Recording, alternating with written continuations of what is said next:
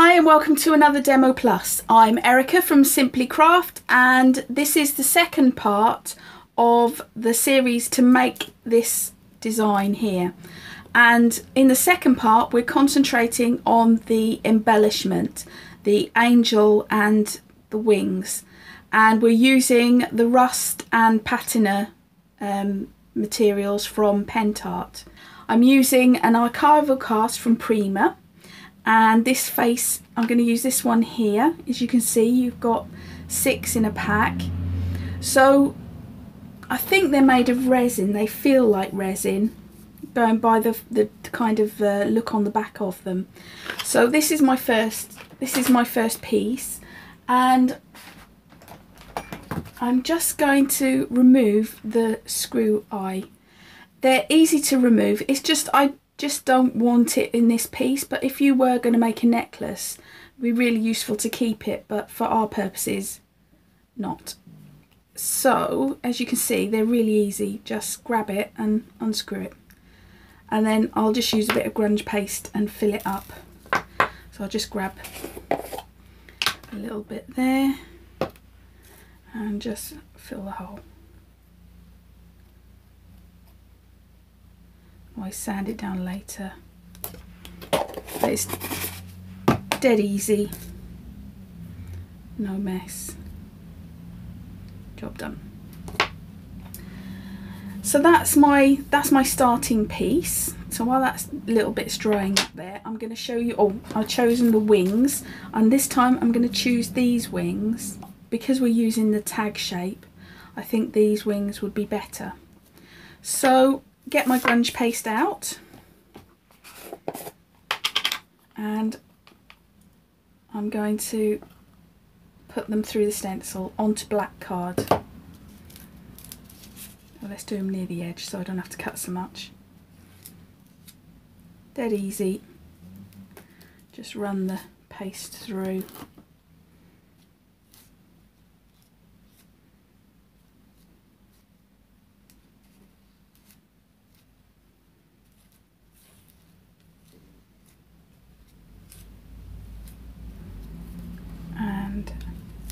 There we have it. There's our wings. Obviously we've got to let those dry now and then we just clean this up and all the excess goes back into the pot. And a little tip is if you scrape it onto the sides here they then go rock hard and they will not you can't add water to them. Once they once they've dried they've dried. So I tend to scrape it into the bottom and then before I close the lid spritz of water, do it up, and then you'll keep it better than uh, if you just scrape it on the side.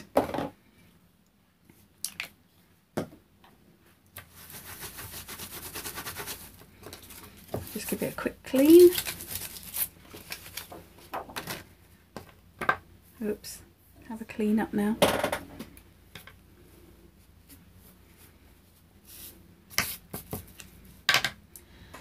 Right, so let's concentrate on our first piece. And this is the face. And I'm going to do, if you can see, a patina effect. And let me show you now what you need.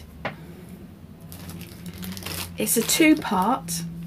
You've got a patina powder, which is actual metal, but a very fine powder. And you've got patina effect reagent and they've got different colours on them. So they I use a combination of them all to create a nice really lovely aged patina. I think you can see from there you can see you've got blues you've got the dulling of the colour. You can see it's very bright so it dulls the colour down but you've got things to blue you've got real dark green well dark you've got real green in the background there you've got some white but it really makes it look like it's been out in and got really weathered. So we'll get started. Right, so I've got my heavy body gel here, the matte version, and I'm just going to stipple it all over the face. We want to make sure we get it all because we want the powder to stick to the whole of the shape Don't want any patches. And just make sure I've got it all. So I'm stippling on the glue so I don't have the brush strokes. Right, and I'll just take a scrap piece of paper. Oh, no, don't want to do that. Scrap piece of paper. Let's just make sure I didn't put finger. Oh, I'm getting all bits in it now. Good job, it doesn't matter. And then I'm going to oh, pour the powder over it. Now, I really need a clean brush. Also a clean dry brush. Okay, so I've let this dry off a little bit and now I'm just going to take the excess and put it all back. So I just brush it all down and there you can see it looks like real metal. Right, let's take that excess off. Think that's looking good. If there's any gaps, you can always just put a little bit more, a little thin layer of gel on. Let's just smear a bit on and then just dip it in and get a little bit more on there. A little bit more there. Because it's hard to see the sides sometimes when you're working. There we go. Oh, a little bit there. Missed that bit. Right, we'll just leave that to one side a minute while I clear up. This powder is lovely, but it's so very fine. It looks like a brass colour, so I'm wondering if it's actual brass powder. Doesn't actually say. But it smells like real metal, so it must be uh, something like that. So we put that put that all away. Oh, there we go. Still made a mess. That's typical of me. So that's our lady all gilded up. So we'll just put her to one side a minute because I'm going to brush her again and just to take the excess off because you can see there's still some on there. But the next bit we're going to do is we're going to put the rusting powder on the wings. It doesn't matter if that's, I'm going to cut that all off anyway. This, I got to get rid of some of this gold though. Look like I belong to a Bond movie. Right, so our next bit is the rusting powder, rust effect powder, and we're going to put it on the wings. Cut them out first, that would help. I'm just thinking of the edges if it does uh, ruin my scissors or then you've got the black edge when you cut it. So I'm better off cutting it now. This very simple design anyway, so won't be too difficult. I'll leave the middle. It'll keep them in place. And then I can choose whether or not I keep them in the same distance apart or whether I move that. And snip. That's the last bit gone. And there we have it. Right, now we do the glue. Oh dear. Dab the glue on.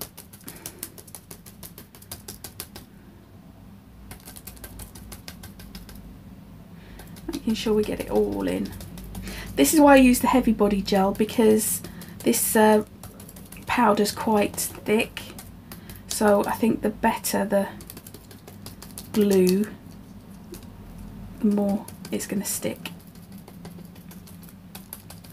a good PVA glue will do it. Right, so find myself a scrap of paper, oops, and then we sprinkle on the iron powder. Now this really heavy, it's hard to describe, but it's just iron filings I think. And then we just, there's a nice, oh, some of them are like little balls of iron. So you kind of got to keep it under control or it'll run away with you. So, but you can see it's really, really thick. You get a really, I, I mean, I even like it like that. I think it looks great. And put the excess away. Then I better pop my glue brush in some water. So we've got our wings and we've got our head. So now I'm just gonna, you can see, take some of that excess off. I didn't the first time and I just found the, the, um, the agents just sort of bubbled on the surface rather than do their job. So oh, that's because there was so much powder on the surface. It wasn't, it was just sort of clinging to the powders.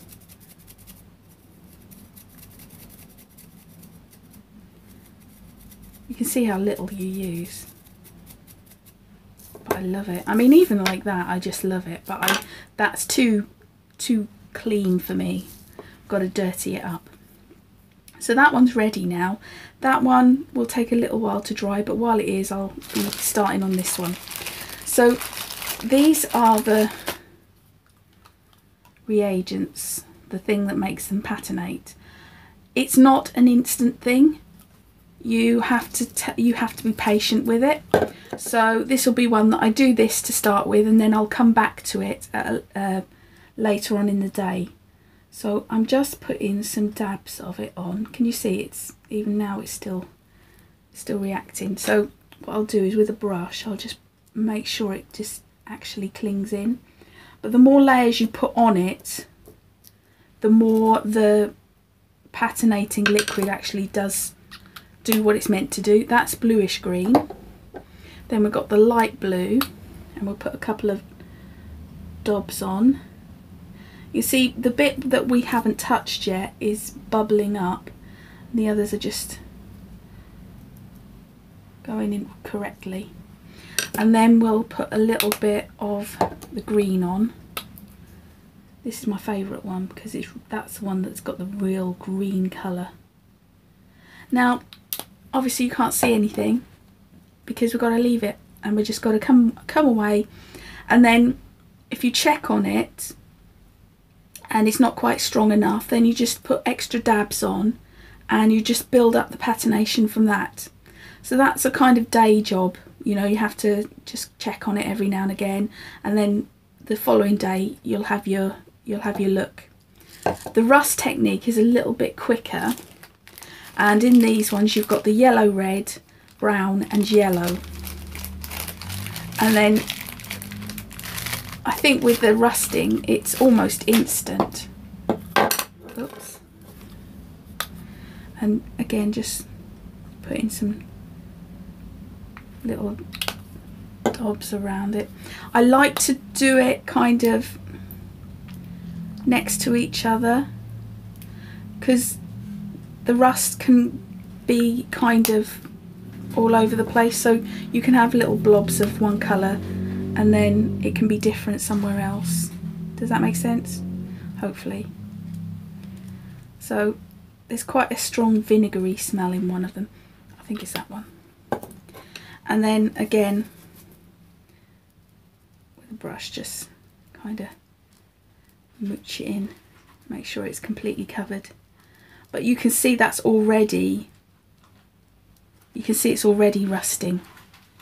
And when it's dry it will have a the nice thing about the rusting one is it's one coat and that's it.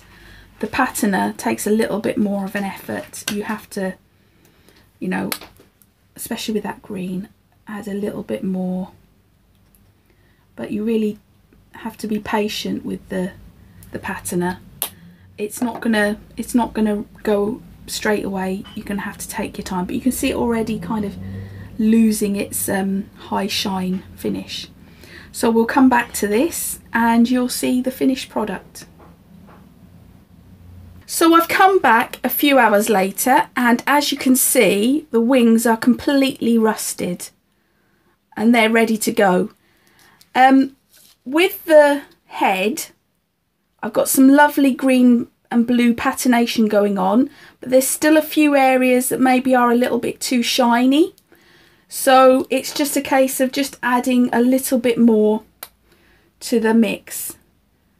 Like I said, the patinating can take a little bit longer than the, the rusting, but you do get a really authentic look when you use these materials. Just a case of just adding a little dab more.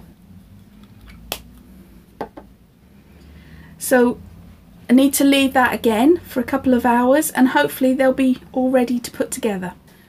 Right, I'm back the next day and I'm really pleased how they turned out. So we've got our face here and you can see how much of the patination has gone on. But like I said, I put a couple of layers on just to really build it up.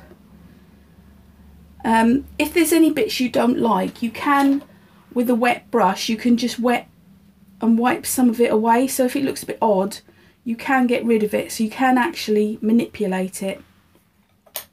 But I love, if you see there, it's picked up the rust because there was some of the powder on the on the on the table. So I quite like that. So I uh, added an extra touch to it.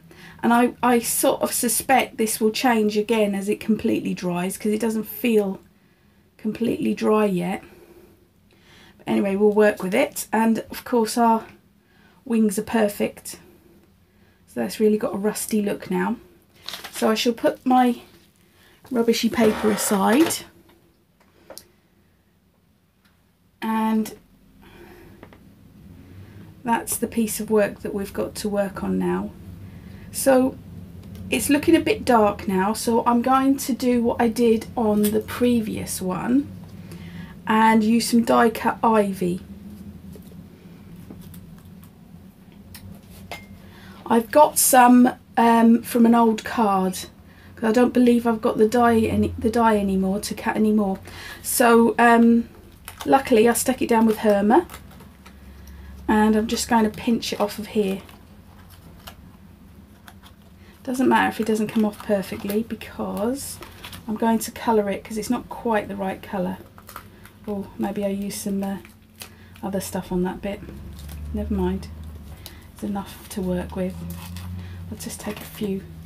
This uh, this card is getting, it was completely surrounded with ivy. Now it's uh, quite a lot less. Never mind. It was an old card. And that one's stuck down. Oops. That one's stuck down with glossy accents. Um, see how much I need. I'll take that one off because it is definitely stuck down and doesn't look so odd now. So my ivy. Just take off the bits I don't need. I Don't really want a bit of whatever that is. I'm thinking, and these are the two colours I used in the Distress Oxides. Again, using Distress Oxides because they're opaque, so they will actually work on top of colours.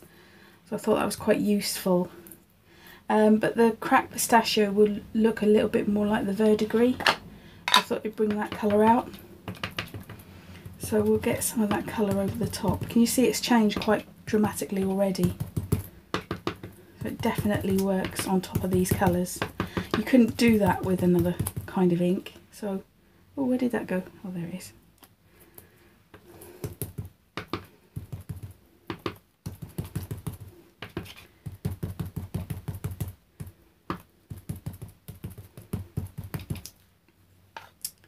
and then I'll try a little bit of brown just to on the edges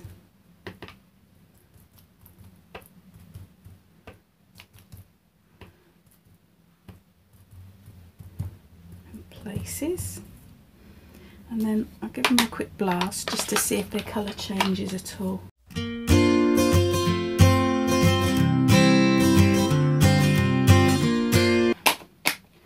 and I think I will add a little bit of the peeled paint as well just to add some of that yellow tone because it was looking a bit too cold.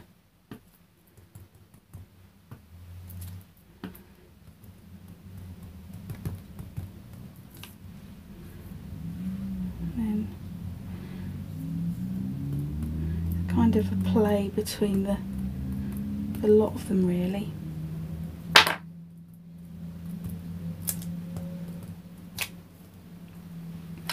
I'm much happier with them now.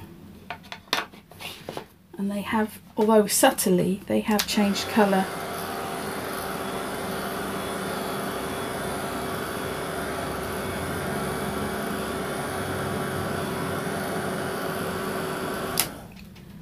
So now I'm ready to kind of have some kind of idea about where everything's going. I'm thinking, because I did leave that blank space, that she would go there.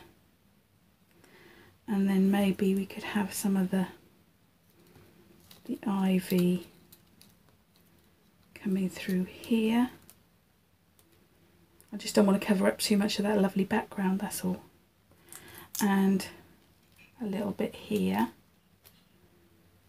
that might be enough actually yeah, I suspect that will be enough. And then we need a quote. So I have used the Tim Holtz Big Chat stickers because um, if you see with this one, I used I used um, do everything with faith, and so I'm thinking something. I'm thinking something like timeless I'm sure I saw that there. Yeah, timeless. And let me see. Oh, beauty, timeless beauty.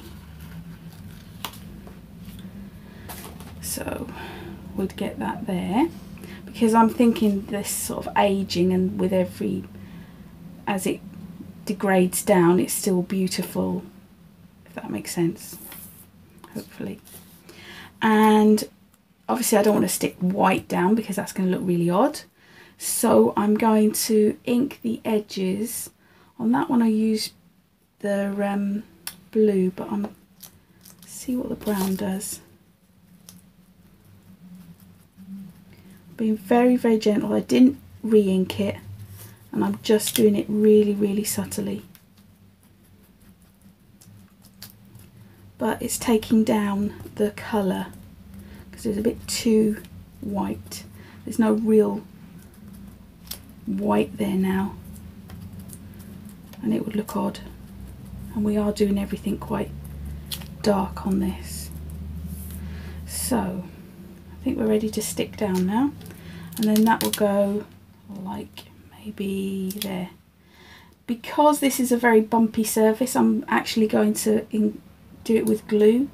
So I'm going to leave them there a minute until I decide where they're going. But I'm using my heavy body gel to stick everything down. Because it's such an uneven surface, um, a nice big blob of this will just make sure nothing moves. And because it's matte, hopefully it won't make no shiny patches if it if the glue seeps out. So I'll have that somewhere like so. Oops. And the problem is with the gel is you have to leave it. Or do I want to get rid of that little nip out bit? Okay, right, so gluing all my pieces together. Oh, it'll come together I'm sure this is the fiddly bit now because I wanted to do it in situ so I knew where everything was going um, I did have a little one there didn't I what have I done with it that's probably that one there. Goodness knows how that got there. Stick that one on the end. Coming out. Now where did I have her? About there. So let's just put a big blob on the back. That's just so it will stick down really well. Oops. Oh, oh. This is the fiddly bit now. And the trick is glue it down, walk away and leave it alone because it's so easy to move it and then it will go wrong. You see because of all the bumps and you've got to have enough glue there so it captures it. A bit like silicone glue. And this is why you have to leave it. Walk away and leave it right that sounds like it's stuck down. And timeless beauty. Let's get that glued.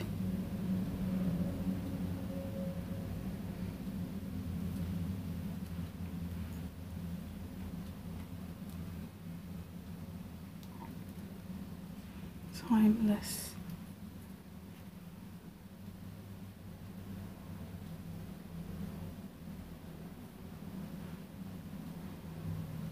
beauty there we go and then I might just every now and again push it down because if it curls up that will eventually be tacky enough to hold it. But it's worth doing it because if you just use a sticker there's a chance with the heat or change of temperature they'll just fall off. Hopefully that's on straight. I think so. So that's pretty much it finished um, I just want to show you um, a last couple of things that I did but obviously that's now got to dry um, I've got some shading underneath and that's done with that Payne's Grey. So just a little bit of the paint underneath to do the shading. And on the ivy leaves, I gave them a little bit more, can you see it's, they're a little bit bland. I've added some highlights with a gel pen, but then softened it with a brush. So it's got a little bit more texture going on. And there we go that is how I created that box and as you can see you you're never going to get the same thing twice and that's the nice and the beauty about it is it's always going to look different no matter how many times I could re have recreated this and never actually got that again which is what I love about it is so there's some real random techniques going on there which you'll never be able to recreate exactly. But anyway Thank you for watching